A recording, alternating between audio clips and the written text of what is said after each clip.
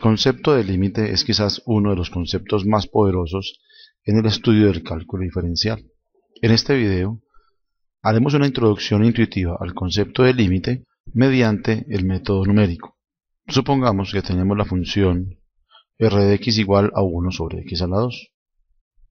El dominio de esta función son todos los reales excepto el valor de 0 que hace 0 el denominador.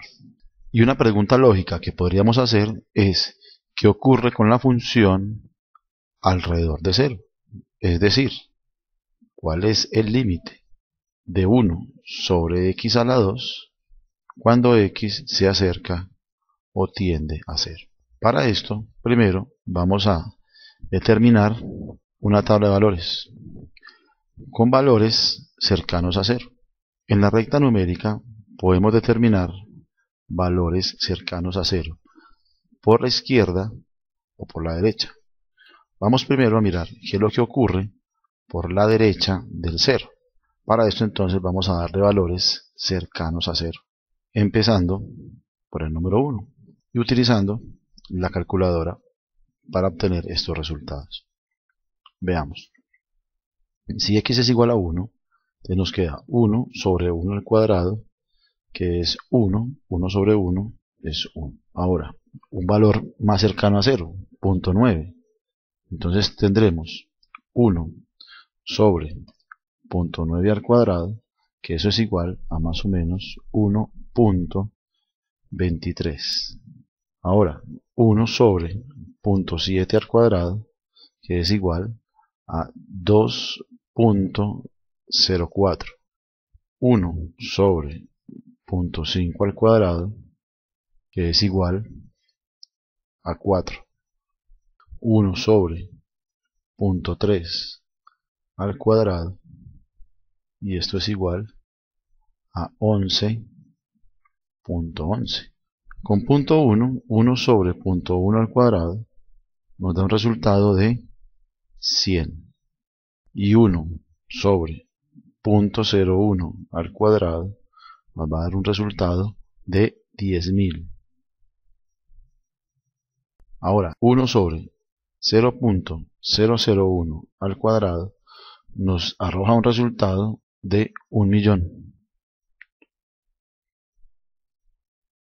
Y 1 sobre 0.001 al cuadrado da un resultado de 100 millones. 100 millones por espacio vamos a escribir 10 a la 8. Ahora 1 sobre 0.00001 al cuadrado nos arroja un resultado de 10 a la 10 y 1 sobre punto 0.00001 al cuadrado nos arroja un resultado de 10 a la 12.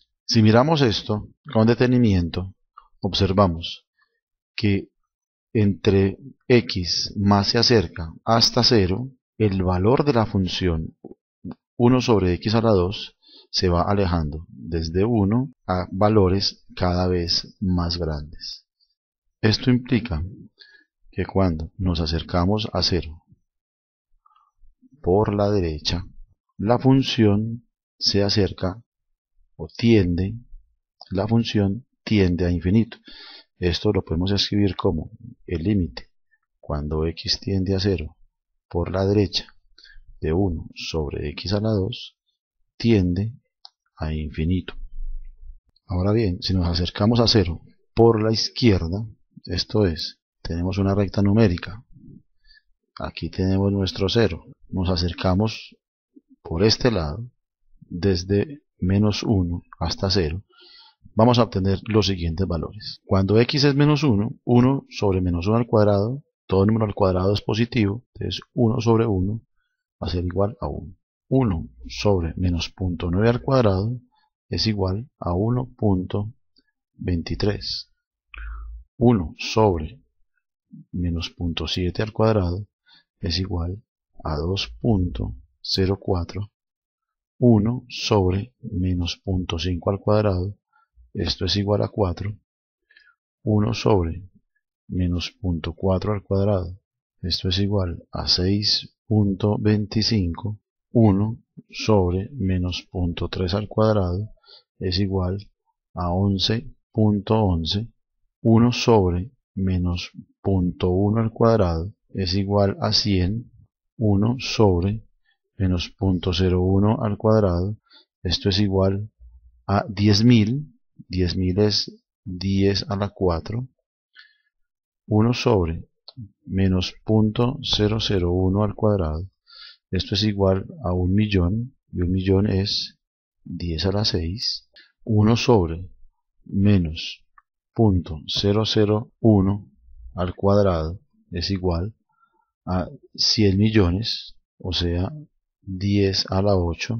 1 sobre menos 0.00001 al cuadrado, esto es igual a 10 a la 10. Notes entonces que entre más nos acercamos a 0 por la izquierda, el valor de la función se hace cada vez más grande.